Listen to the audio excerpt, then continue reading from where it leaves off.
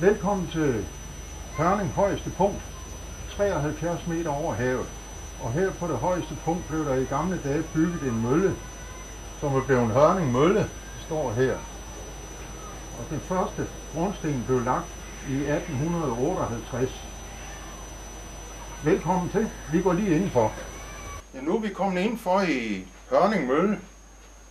Og som jeg sagde udenfor, grundstenen blev lagt her til møllen i 1858 af en møller. Vi aner ikke, hvad navn han har, men han byggede altså møllen her på det højeste punkt i landsbyen Hørning. Det er 73 meter over havet.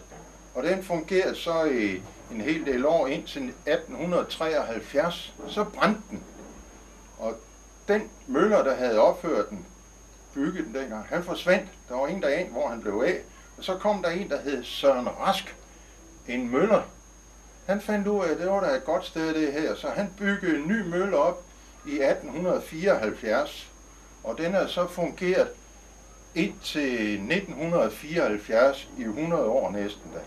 Men i mellemtiden, der har der været 10 ejere af møllen indtil Tage Jensen i 1958.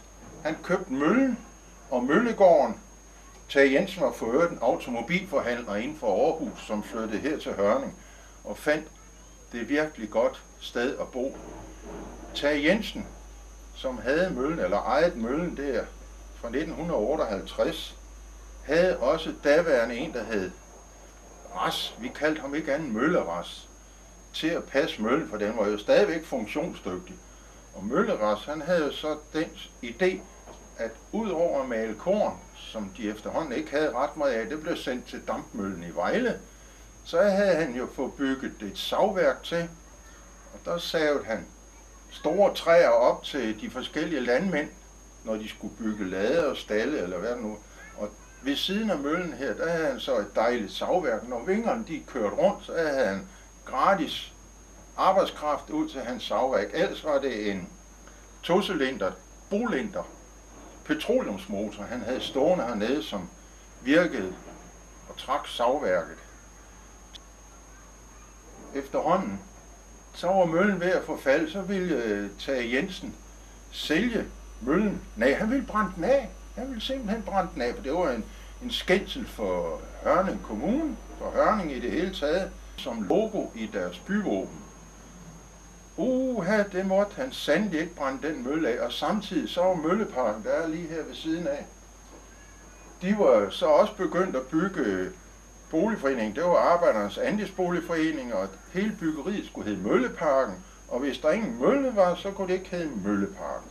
Så de blev enige om, at de ville købe møllen, og der siges, at de har købt mølle for en krone.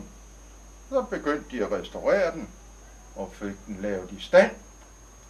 Efterhånden så var der så flyttet folk ind i boligbyggeriet derovre, og det var jo så en møllebygger fra Bleking, der hed Henning Hall, der fik opgaven at bygge møllen, restaurere møllen.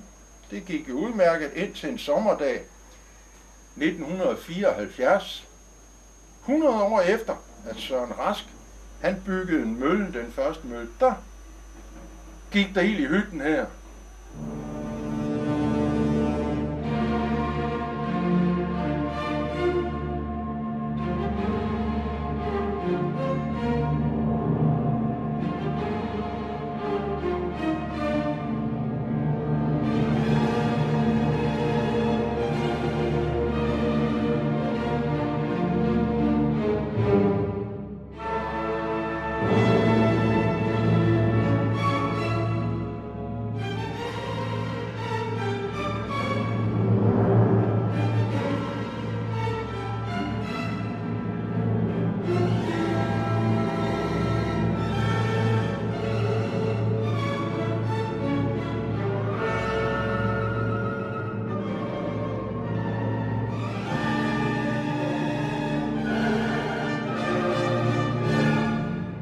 Men var overhovedet ikke brugbar. Det var bare brændt fuldstændig. Det var forkullet rester over det hele herinde.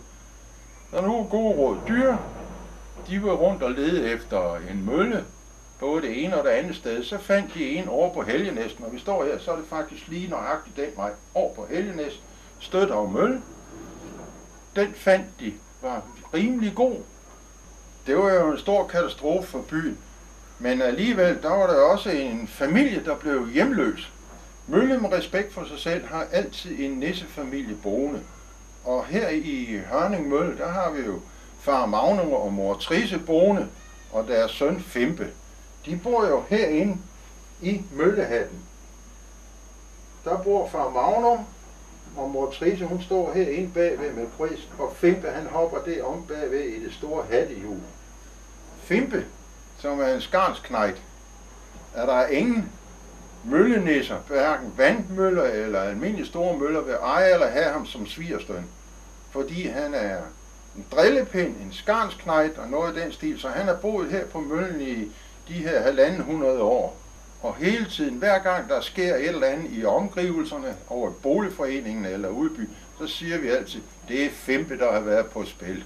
Det er aldrig de børn, der bor her i byen, for det er nogle søde børn.